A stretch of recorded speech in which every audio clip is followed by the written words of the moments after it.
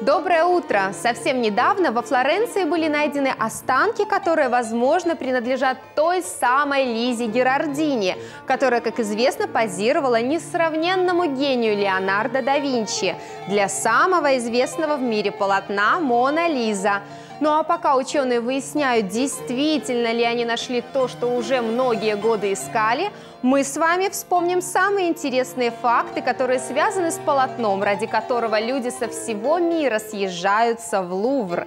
Сегодня речь пойдет о великолепной картине, полное название которой «Портрет госпожи Лизы Дель Джаконда», но широко известен этот шедевр как «Мона Лиза» или «Джаконда». Картина была написана в XVI веке маслом на доске из тополя, и размеры ее вовсе не велики – 77 на 53 сантиметра. На тот момент Леонардо да Винчи был 51 год.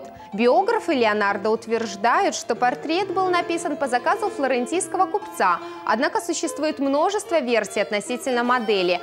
По некоторым из них на полотне автор изобразил самого себя, по другим – своего ученика. Что же касается волнующей улыбки Джаконды, которая не дает покоя зрителям вот уже пять веков, то для того, чтобы она не ускользала с лица модели, в студию, где трудился художник, были приглашены шуты и музыканты, игравшие на лирах. Картина до последнего дня находилась при Леонардо, который умер во Франции.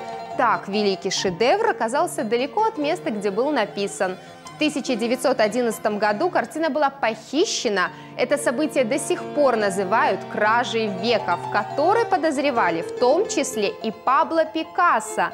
Украденный шедевр смогли найти лишь спустя два года.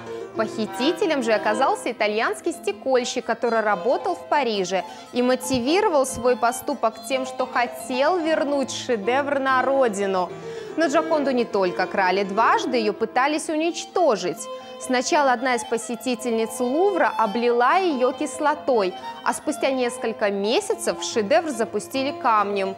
Разумеется, после этого полотно было помещено под пули непробиваемое стекло. Но вандалов и это не остановило. На картину пытались распылить краску, а во время гастролей Джаконды в Токио уже в 2009 году в него запустили чашкой.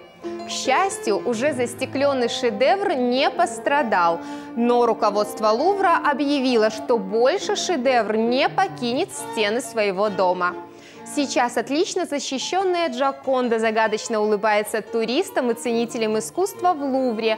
Но невероятная популярность породила немыслимый ажиотаж, и огромный зал, украшенный шедевром, всегда заполнен людьми.